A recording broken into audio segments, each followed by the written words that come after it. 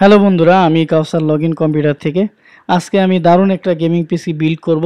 তো বন্ধুরা, চলো আমরা দেখি এই গেমিং পিসির কনফিগারেশন কি কি হতে চলেছে।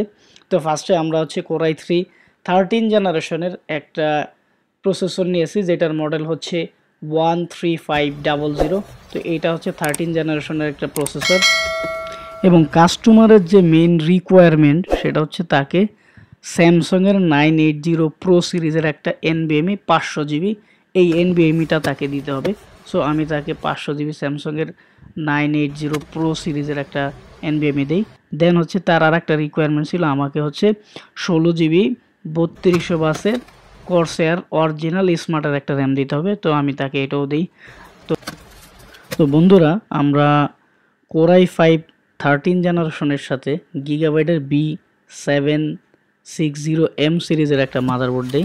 তো অবশ্যই আপনারা মাদারবোর্ড কেনার ক্ষেত্রে খেয়াল করবেন। মাদারবোর্ড কিন্তু চাইনিজ হয় অথবা মানে বাল্ক মাদারবোর্ড হয়, সেগুলি কেনার সময় দেখে নেবেন এবং মাদারবোর্ডের সাথে বক্সের সিরিয়াল মিলিয়ে নেবেন। মাদারবোর্ডটা অরিজিনাল কিনা। স্মার্টের ছাড়াও কিন্তু মাদারবোর্ড বাংলাদেশে অনেক কোম্পানি আনে। তো ওই বিষয়গুলি খেয়াল করবেন। কারণ ভালো মানের মাদারবোর্ড না হলে প্রসেসর এবং মাদারবোর্ড ঠিকমতো অ্যাডজাস্ট না হলে সেক্ষেত্রে কিন্তু পারফরমেন্স অনেক কম হয়। তো আমরা এই কনফিগারেশনের সাথে আমরা হচ্ছে কোর্সেয়ারের ছয়শো পঞ্চাশ ওয়ার্ডের একটা পাওয়ার সাপ্লাই ইউজ করি, যেটার মডেল হচ্ছে সিভি সিক্স ফাইভ জিরো মডেলের তো একটা বিষয় খেয়াল করবেন অবশ্যই পিসি কেনার ক্ষেত্রে পিসি কেনার ক্ষেত্রে পাওয়ার সাপ্লাইটা আপনার বেস্ট হইতে হবে। কারণ পাওয়ার সাপ্লাই যদি ভালো না হয়, সেক্ষেত্রে পিসির পারফরমেন্সের দারুণ ল্যাকিং হয়, অনেক হেজালে পড়তে হয়। সেক্ষেত্রে খেয়াল করে নেবেন পাওয়ার সাপ্লাইটা যেন hundred percent genuine power supply হয়। দুই নম্বর পাওয়ার সাপ্লাই কিন্তু অনেক ধরনের সমস্যা হতে পারে। সেগুলি পিসিতে কাজ করতে গেলে আপনারা এই জিনিসগুলি খেয়াল করবেন।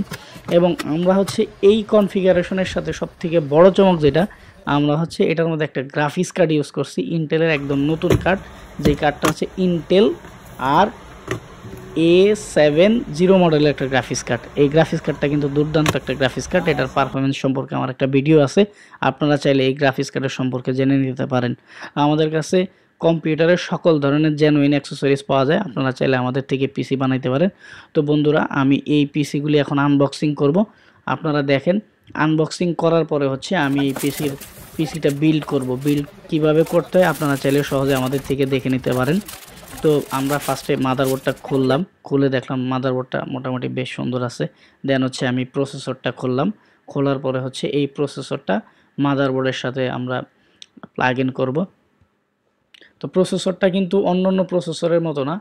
আগে seven gen six gen eight gen বা নাইন জেন যে ধরনের প্রসেসরগুলি ছিল, ওইটার থেকে এটা একটু ব্যতিক্রম, এটা দেখতেও বেশ প্রিমিয়াম আর এটার সাথে দারুণ একটা ফ্যান ইউজ করছে। তো এই ফ্যানটা কিন্তু অস্থির একটা ফ্যান আপনারা অনেকে দেখা যায় কম দামের মধ্যে কুলার নেন, সেই কুলারের থেকে এই স্টক কুলারটা অনেক বেটার আর কোর্সেয়ারের র্যামের কথা তো না বললেই নয়। কোর্সেয়ারের র্যামের র্যামের কিন্তু পারফরমেন্স দুর্দান্ত। কোর্সের র্যাম আসলেই অনেক ভালো। এই র্যামটা অনেক দিন টানা ইউজ করা যায়। কিছু কিছু র্যাম আছে, দেখা যায় ছয় মাস, সাত মাস পরে র্যাম ছেড়ে দেয়। সেক্ষেত্রে কিন্তু দারুণ একটা সমস্যা পড়তে তো বন্ধুরা, আমাদের মাদারবোর্ডের সাথে মোটামুটি সব কম্পোনেন্টসগুলি লাগানো হয়ে গেছে।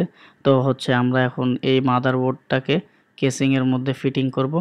তো কেসিংয়ের মধ্যে ফিটিং করার পরে হচ্ছে আমরা এটা পাওয়ার দিয়ে দেখব যে সব কিছু ঠিকঠাক আছে কিনা।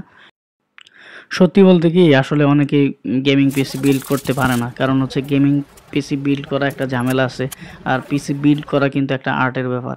এই ক্ষেত্রে আপনার হচ্ছে অবশ্যই সতর্কতা অবলম্বন করা উচিত যে এক্সপার্ট তাকে দিয়ে আছে পিসিগুলি বিল্ড করানো উচিত। কারণ পিসি বিল্ডের উপরে নির্ভর করে পিসির পারফরমেন্স অনেক সময় দেখা যায় মাদারবোর্ডের যে স্ক্রুগুলি লাগানো হয়, এই স্ক্রুগুলিতে একটু কম বেশি হলে বা আপনার হচ্ছে ব্যালেন্স ঠিকঠাক না হলে মাদারবোর্ড অনেক সময় বেঁকে যায়। তো বেঁকে গেলে লেয়ারগুলিও বেঁকে যায়, যার কারণে অনেক সময় পারফরমেন্সের দারুণ একটা সমস্যা দেখা দেয়।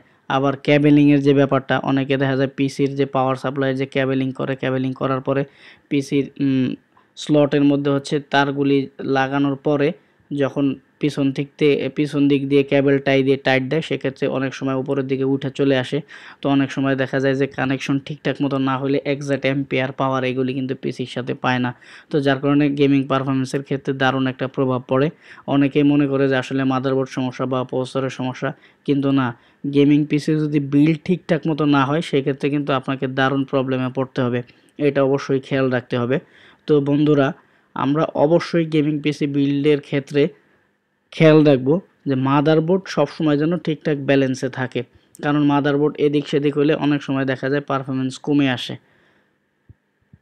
সো বন্ধুরা, আমাদের পিসিটা অলরেডি বিল্ড করা শেষের দিকে। তো আমরা হচ্ছে আস্তে আস্তে পিসিটা বিল্ড করে ফেললাম। এখন হচ্ছে আমরা পিসিটার গ্রাফিক্স কার্ডটা লাগাবো, যেটা হচ্ছে মেন আকর্ষণ। আসলে সত্যি বলতে পিসিটা কিন্তু গ্রাফিক্স কার্ডের উপরে অনেক কিছু নির্ভর করে। আপনি যত দামি পিসি নেন, যদি গ্রাফিক্স কার্ড না থাকে, সেই পিসির কোনো দাম নাই। আসলে আমরা এখন গ্রাফিক্স কার্ডটা লাগাবো, লাগানোর পরে হচ্ছে দেন আমরা পাওয়ার দিয়ে দেখব।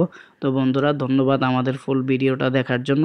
আপনারা আমাদের চ্যানেলটা সাবস্ক্রাইব করবেন এবং লাইক কমেন্ট শেয়ার করে দিবেন। তো আপনারা চাইলে আমাদের কাছ থেকে পিসি বানাইতে পারেন।